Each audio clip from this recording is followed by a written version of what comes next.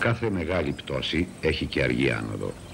Γι' αυτό ίσως το γκρέμισμα του μεγαλειώδικου Βυζάντιου σήκωσε τόσο κουρνιαχτό που πήρε 400 χρόνια στους ραγιάδες για να τεινάξουν τα ερήπια από πάνω τους και να δουν ξανά το λαμπρό φως της λευτεριάς. Χάθηκαν οι μεγαλειώδεις εμφανίσεις, σκοτίνιασε η δόξα, όμως το μεγαλείο της φυλής φόλιασε στην καρδιά του ταλαιπωρημένου Ρωμιού και περίμενε την ώρα να εκδηλωθεί.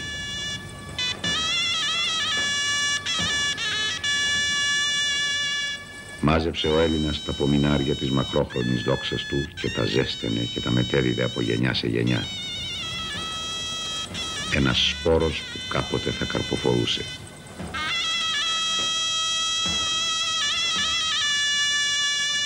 Κι όταν οι Σουλτάνοι, ύστερα από αιώνες, αποφάσισαν να δώσουν στο Ραγιάνια κάποια ελευθερία να γιορτάζει δημόσια και επίσημα πια τις θρησκευτικές του γιορτές, ανορθώθηκαν οι σκημένοι σκλάβοι και σύσσωμοι παρατάχτηκαν για μια μεγαλόπρεπη παρέλαση μπροστά στα μάτια του αδιάφορου Ανατολίτη.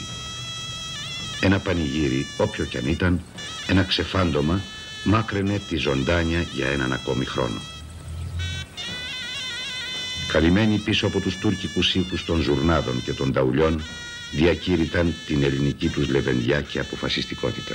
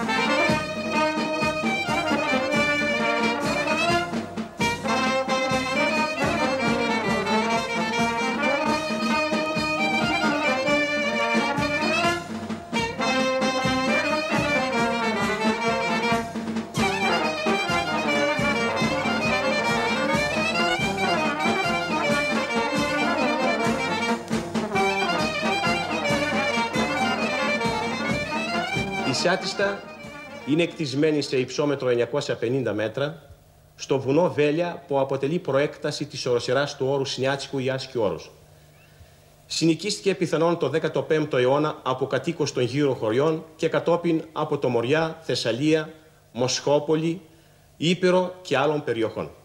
Στην τοποθεσία αυτή, μακριά από το μάτι του Τούρκου, οι Ρωμοί προκόβουν κατά τρόπο εκπληκτικό.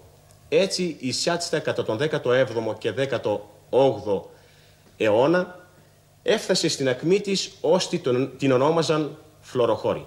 Φωτεινά δείγματα της ακμής και του πλούτου της αποτελούν τα επιβλητικά αρχοντικά της που μαρτυρούν το υψηλό βιωτικό και πολιτιστικό επίπεδο το κατοίκου της. Αλλά παράλληλα η Σιάτστα γίνεται και κέντρο πνευματικής ακτινοβολίας. Σε ατιστινοί λόγοι, συγγραφείς, αγωνιστές τιμούν τη Σιάστα με ευεργεσίες και δωριές.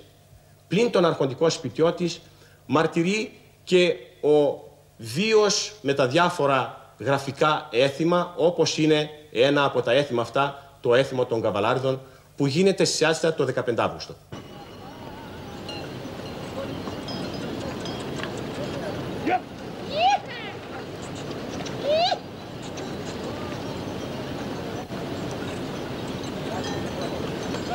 Το άλογο από την αρχαιότητα ήταν σύμβολο περηφάνειας.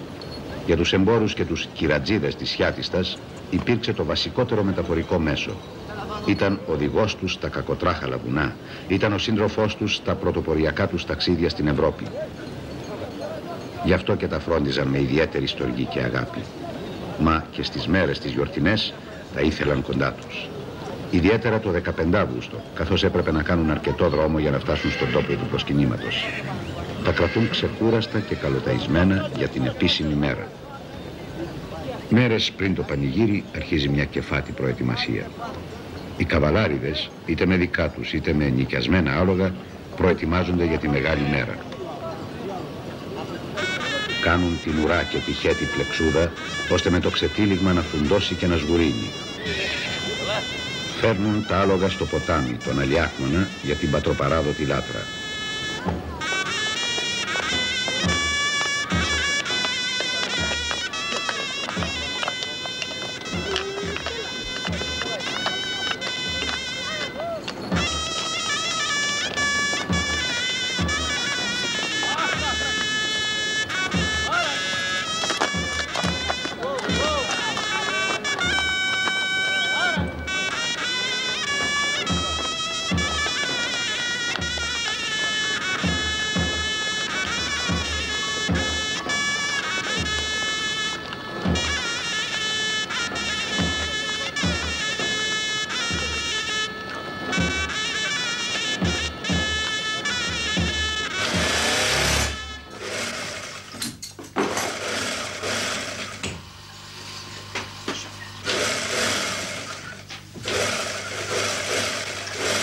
Καθώς ετοιμάζεται ψυχικά ο Γουναράς για το πανηγύρι, άθελά του πάει ο νους του και στην απαρχή της ζήσης του.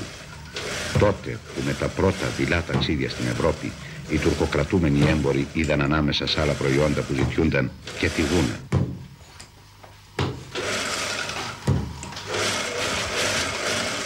Το δαιμόνιο και η ευστροφία του Έλληνα τόλμησε να δοκιμάσει και αυτή την τέχνη. Μια τέχνη δύσκολη και απαιτητική.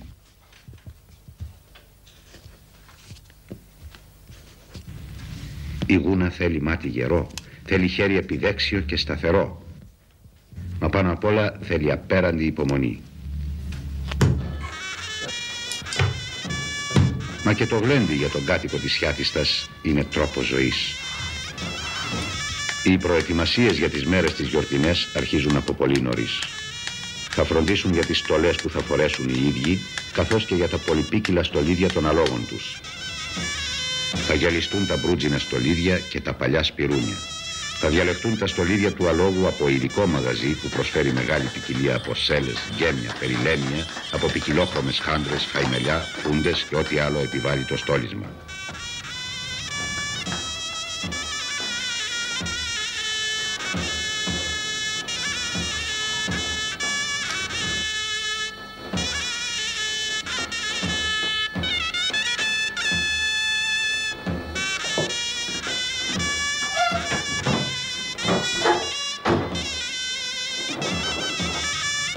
Ξημερώνει η μέρα της Παναγίας.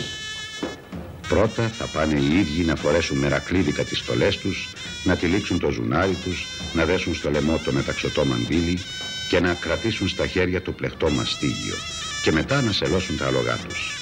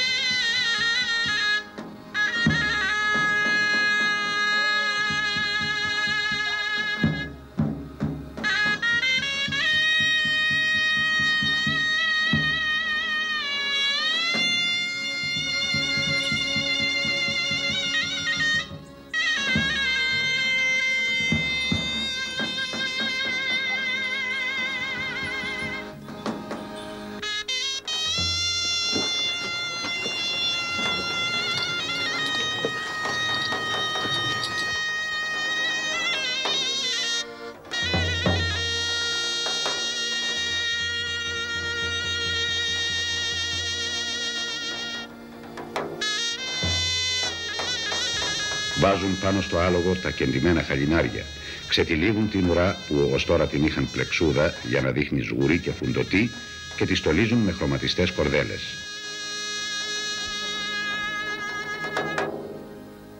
Σκεπάζουν τη σέλα με άλλη κυφλοκάτι, ρίχνουν απάνω της ένα άσπρο κεντυμένο μαξιλάρι και το στεριώνουν στη μέση του αλόγου με δερμάτινη ίγκλα.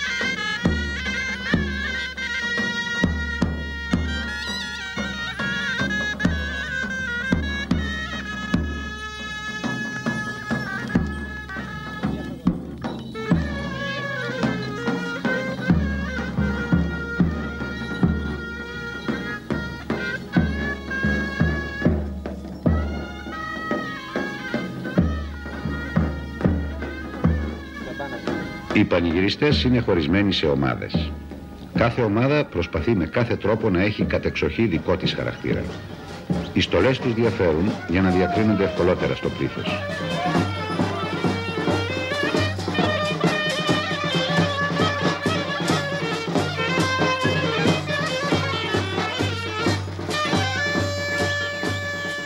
Φίλοι και αχώριστοι ακόμα, αν τύχει να ανήκουν σε διαφορετικές ομάδες, τη μέρα της Παναγίας θα χωρίσουν, γιατί έτσι ορίζει το έθνο.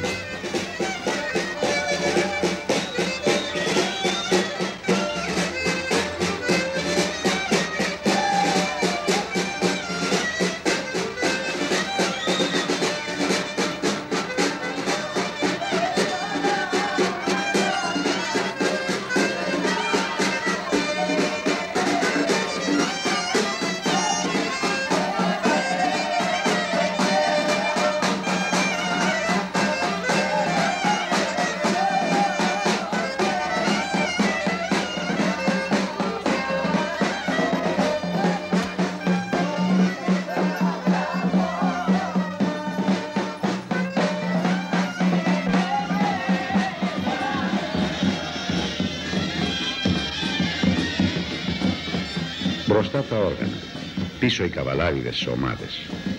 Ξεφυτρώνουν από τα στενοσόκακα οι παρέες που θα συγκεντρωθούν στα δυτικά αλόνια για να ξεκινήσουν εν πομπή.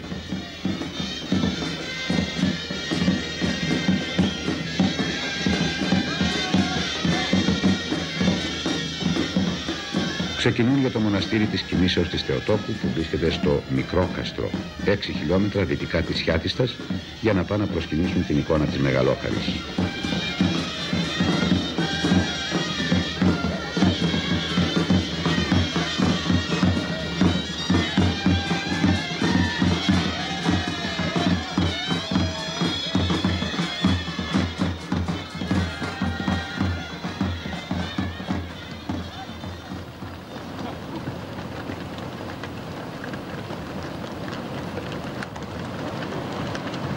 Ακολουθούν το από χρόνια χαραγμένο μονοπάτι των παππούδων τους πάνω από τα βουνά, χαΐρι και καστράκι που τους βγάζει στο μοναστήρι.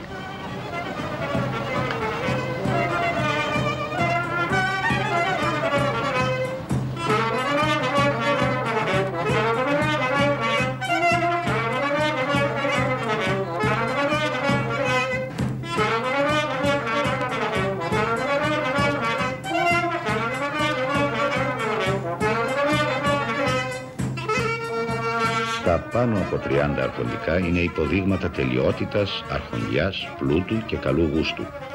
Υπολείμματα μιας εποχής ευημερίας, τότε που το θάρρος και το εμπορικό δαιμόνιο των κατοίκων της Χιάτιστας έφτασε στον κολοφόνα της επιχειρηματικότητας και της συναλλαγής με τους ανατολικούς και δυτικούς Ευρωπαίους.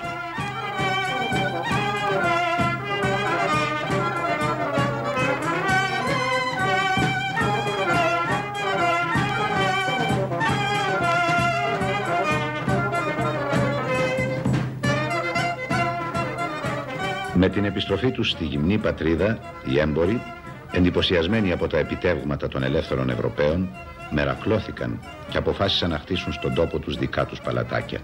Όχι κατά απομίμηση, παρά με δικιά μας γνήσια ελληνική αρχιτεκτονική, αξεπέραστα σε ομορφιά και αντοχή.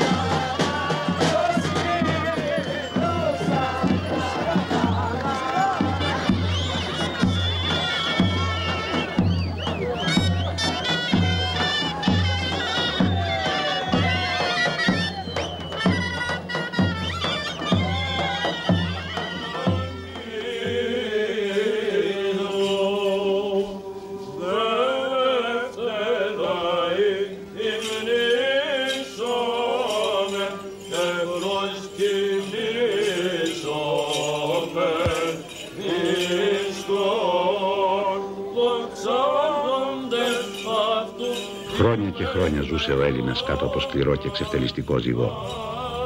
Το παράπονο του εκκλησιαστικού υμνοδού φόλιαζε στην καρδιά του όταν στα ζωφερά χρόνια της δουλείας σιγόψερνε στη Θεομήτωρα ότι κατεδίωξεν ο εχθρός την ψυχή μου, εταπείνωσεν εις γην την ζωή μου και περίμενε με πίστη και καρτερία την ημέρα του λυτρωμού.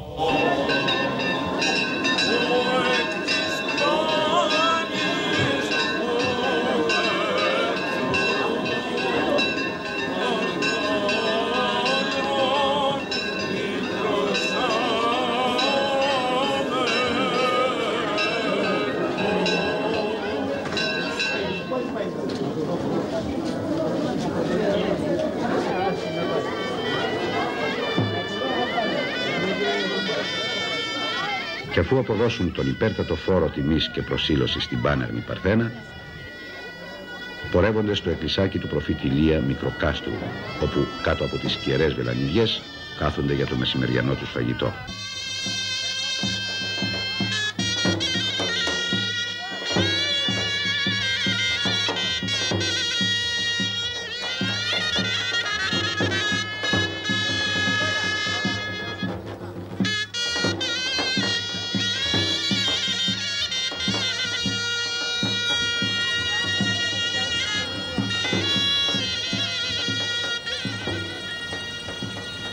Μεσημέρι ετοιμάζονται να πάρουν το δρόμο του γυρισμού για τη θριαμβευτική τους πια είσοδο στη Σιάτιστα.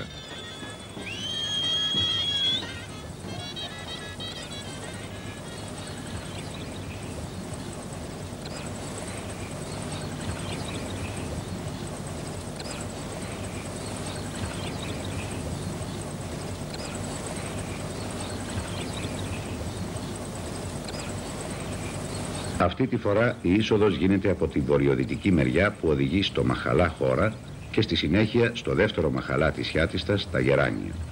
Στην τοποθεσία Ντουλάπη ή Εικονοστάση, κοντά στην Αγία Τριάδα, οι πιο ανυπόμονοι κάτοικοι έχουν ήδη συγκεντρωθεί για να καμαρώσουν και να υποδεχτούν τους Παναϊριώτες.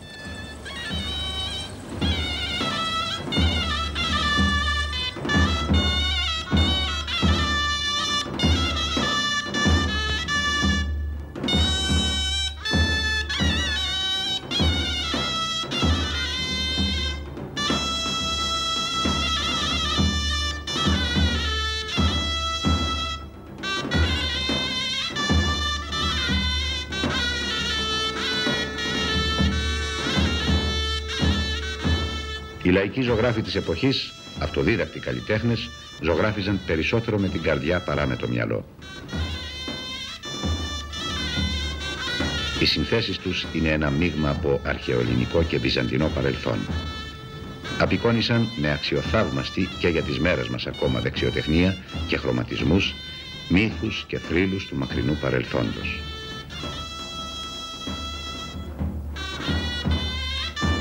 Και όλα αυτά πλαισιωμένα από ανθοδέσμες με υπαρκτά και φανταστικά λουλούδια και άλλα σύμβολα παρμένα από τη μακρόχρονη ιστορία του γένους. Δημιουργούσαν έτσι ένα αρμονικό σύνολο που και σήμερα προξενεί το θαυμασμό.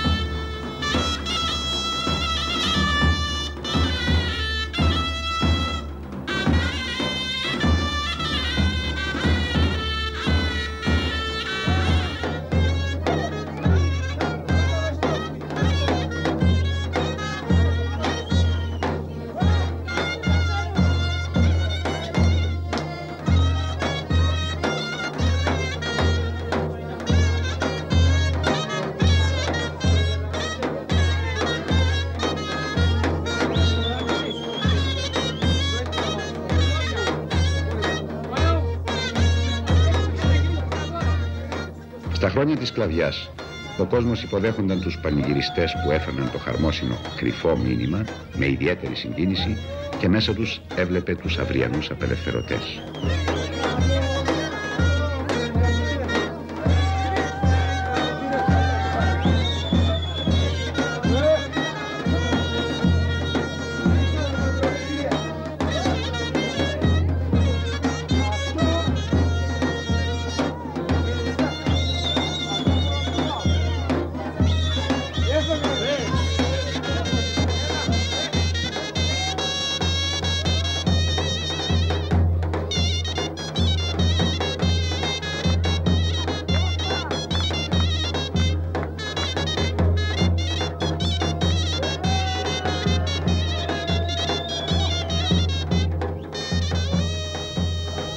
Μικροί και μεγάλοι, γέροι και παιδιά, όλοι στην πλατεία, όπου το ξεφάντωμα αγγίζει τα όρια του παροξισμού, καθώς κανείς μέσα σε σχετικά μικρό χώρο ακούει πάνω από πέντε παρέες λαϊκά όργανα να παίζουν λογιόλογιο ρυθμούς για τις ομάδες των καβαλάριδων, που στο κέφι πια έχουν φτάσει στο κατακόρυφο του γλενιού.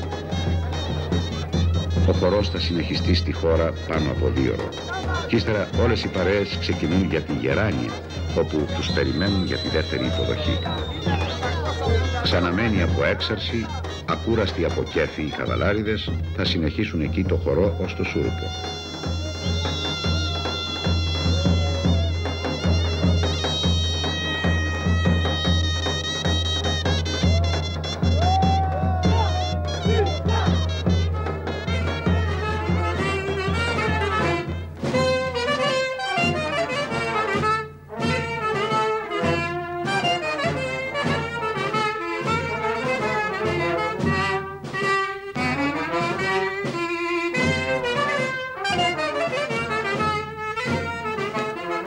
Μοναδικά αρχοντικά με τα προεξέχοντα σαχνισιά και τα χρωματιστά παραθύρια ταχτισμένα από μερακλείδες μαστόρους, κουδαραίους που δεν τρέπονταν να γράψουν το όνομά τους τα σπίτια αυτά που άντεξαν όσο μπόρεσαν στη φθορά του χρόνου τώρα αφέθηκαν για χάρη του μπετόν και του φτηνού πλαστικού σε εγκληματική εγκατάλειψη.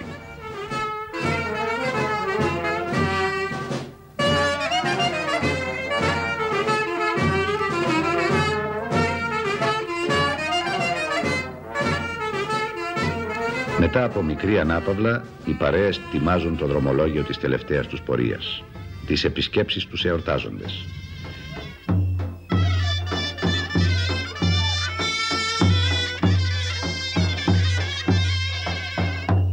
Μπαίνει η καβαλαρία από την αυλόπορτα, παίρνει το κέρασμα καβάλα τη στιγμή που έρχεται τα έτη πολλά και φέρνει το ιερό μήνυμα.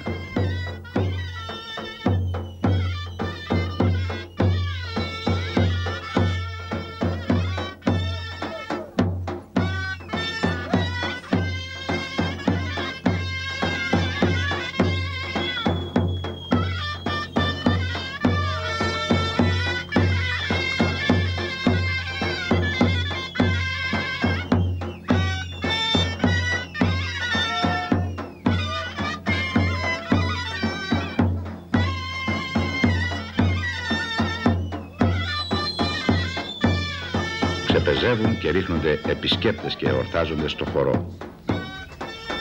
Ένα ξεφάντωμα όπου οι λέξεις στέκουν αδύναμες να το περιγράψουν και η εικόνα παίρνει τη δικαιολογημένη πρωτοβουλία. Ήχος, κίνηση, χρώμα, γεύση. Χρειάζονται όλες οι αισθήσεις του ανθρώπου για να συλλάβει το σύνολο. Και το ξεφάντωμα τραβάει ως τα χαράματα.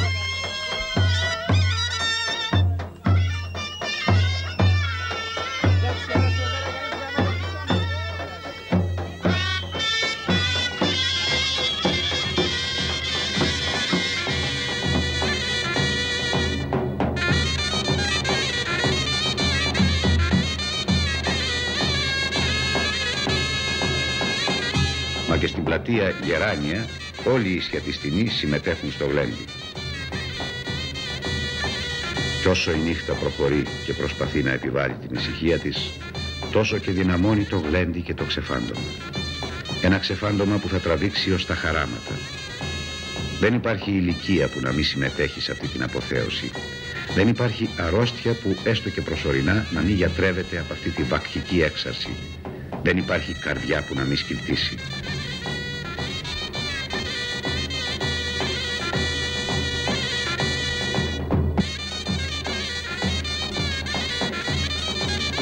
Κάποτε το τέλος πλησιάζει και φτάνει και η ώρα του χωρισμού. Οι κάτοικοι θα γυρίσουν στις ειρηνικές δουλειές τους και στην καθημερινότητα. Οι σιατιστινοί των πόλεων θα μπουν στα αυτοκίνητά τους και θα πείσουν πίσω την ιδιαίτερη πατρίδα τους. Οι ξενιτεμένοι, όσοι ήρθαν για τη γιορτή στον τόπο που γεννήθηκαν, θα ετοιμάζονται και πάλι για ένα καινούριο αποχωρισμό.